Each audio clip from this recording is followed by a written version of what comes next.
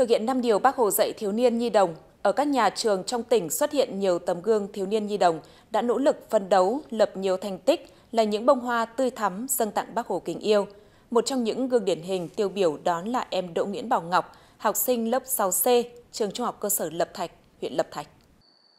Là một đội viên chăm ngoan, học giỏi với nhiều thành tích tốt, em Đỗ Nguyễn Bảo Ngọc còn rất tích cực tham gia các hoạt động đội và phong trào thiếu nhi do liên đội nhà trường phát động.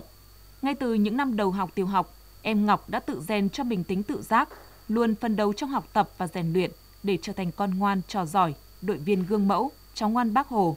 Với tinh thần ham học hỏi, thông minh, em luôn giành được thành tích tốt trong các môn học. Trong năm học này thì em Ngọc vinh dự nhận à, bằng khen rất là danh giá, một cái bằng khen của Hội Trung ương Đoàn Thanh niên Cộng sản Hồ Chí Minh. Tặng khen là một trong bốn đại biểu xuất sắc nhất của tỉnh Vĩnh Phúc tham gia dự liên hoan cứu cứu nhỏ điện biên toàn quốc năm 2024 và em được vinh dự là một trong những 20 đội viên ưu tú được xuất sắc nhận bằng khen của Bộ trưởng Bộ Giáo dục. Đây là những phần thưởng cao quý và rất là vinh dự đối với riêng bản thân em Ngọc cũng như gia đình và liên đội nhà trường. Là một học sinh giỏi nhưng Ngọc không kiêu căng, em luôn chăn hòa với các bạn trong lớp, giúp đỡ các bạn trong học tập, luôn đem những kiến thức mình có được để giúp các bạn giải những bài tập khó, sẵn sàng giúp những bạn học còn chậm phấn đấu vươn lên. Bên cạnh đó, trong các hoạt động do đội thiếu niên tiền phong Hồ Chí Minh phát động, em luôn tích cực tham gia tốt các phong trào. Trước mỗi hoạt động của liên đội, em luôn đóng góp những ý tưởng độc đáo, sáng tạo. Cũng chính vì sự hoạt bát, năng động của mình nên mới đây nhất, em vinh dự là một trong hai đội viên tiêu biểu xuất sắc của tỉnh Vĩnh Phúc đạt giải thưởng Kim Đồng năm học 2023-2024 do Trung ương đoàn trao tặng.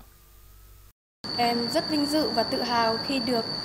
Hội đồng đội các cấp nhà trường lựa chọn là đại biểu tham gia các chương trình của Trung ương đoàn tổ chức như Liên hoan chỉ huy đội giỏi toàn quốc lần thứ tư năm 2023, Liên hoan chiến sĩ nhỏ Điện Biên nhân dịp kỷ niệm 70 năm ngày chiến thắng lịch sử Điện Biên Phủ. Giải thưởng Kim Đồng là một giải thưởng vô cùng cao quý của Trung ương đoàn. Em rất